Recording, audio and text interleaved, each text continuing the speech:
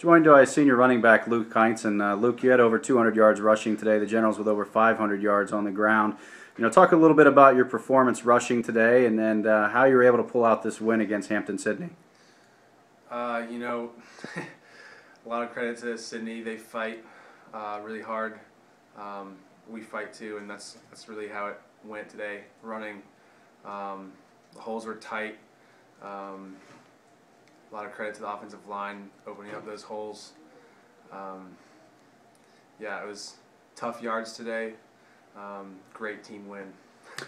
Your win combined with a loss by Bridgewater claims uh, the second ODAC title in your time here at Washington and Lee. Talk a little bit about your emotions uh, after the game, learning that uh, that you're again an ODAC champion.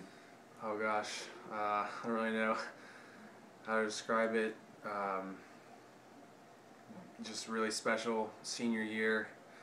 Great way to end an ODAC career.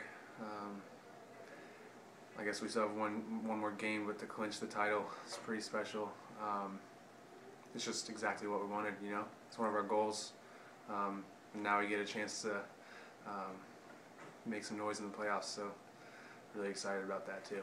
Talk a little bit about what was going through your head on that uh, field goal in overtime. You kicked a 37-yarder to win the game.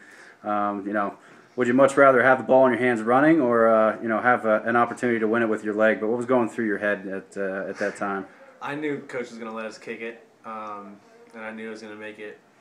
Um, I was just praying uh, while kicking it, and um, you know, just really blessed to be able to do that for our team as well. And um, it's really fun for me to run the ball and also kick it. Um, just yeah, it's really special, really fun. Well, Luke, congratulations. Uh, we'll let you go and uh, celebrate with your teammates. Thank you. Appreciate it.